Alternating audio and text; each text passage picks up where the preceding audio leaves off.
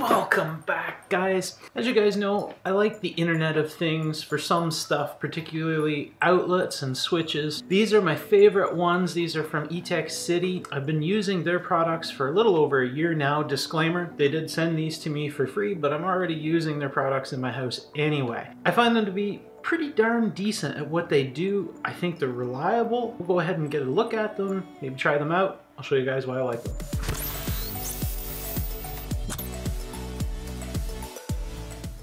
Okay, let's take a quick look at these. This is how the packages come.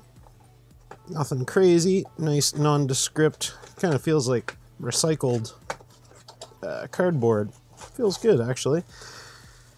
The standard outlet. I like it. It's clean.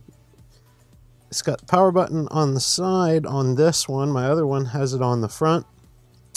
I guess that makes sense in this form factor. Nothing to it. Some instructions, which we hardly need. The setup of these is super easy.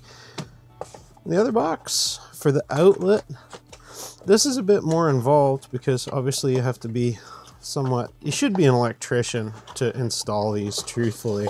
Check your local laws. Around here, you have to be, but uh, everybody does it. We all know we've changed these, so Pretty simple. We've got our ground, our line, our load, and a neutral.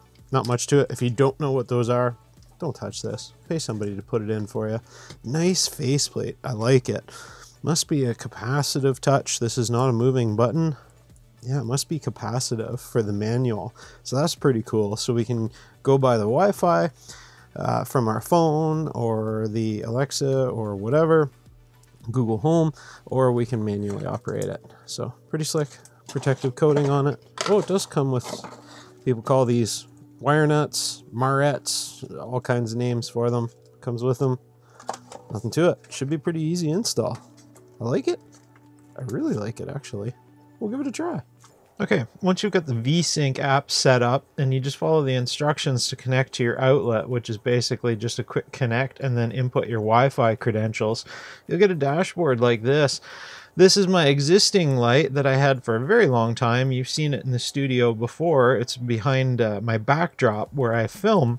This turns it on and off and I can do so with the Alexa as well. You can create a schedule. This will tell me what energy I'm using, if any. And this should be using some watts. And there we go, 32 watts. Just takes a second. If we back up, we can take a look. There's my kitchen light. That's upstairs. That's the the outlet or the uh, the wall switch is the same as all the rest. This is the square outlet that we just got. It's the same as any of the other outlets I've had before.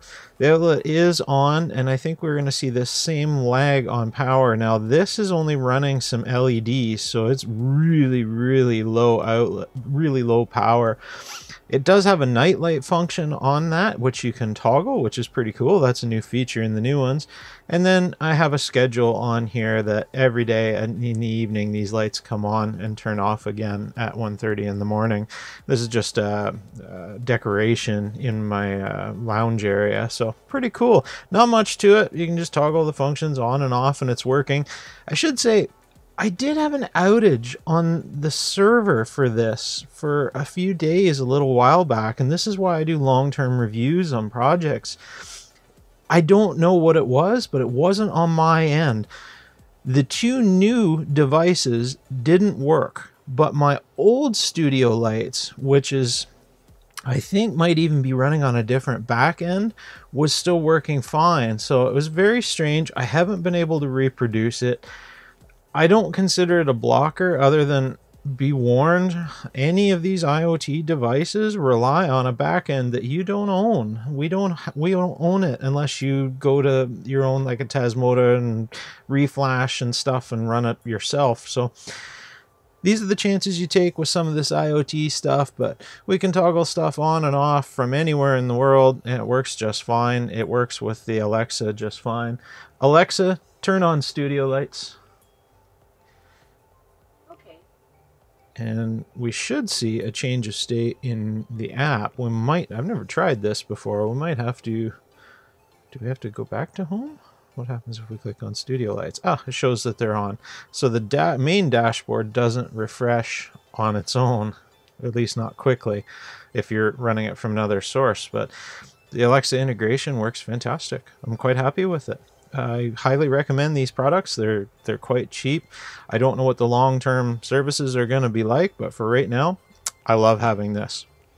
If you like what I do, click a thumbs up down below. Maybe join me on Patreon. I'll see you guys next video. Cheers.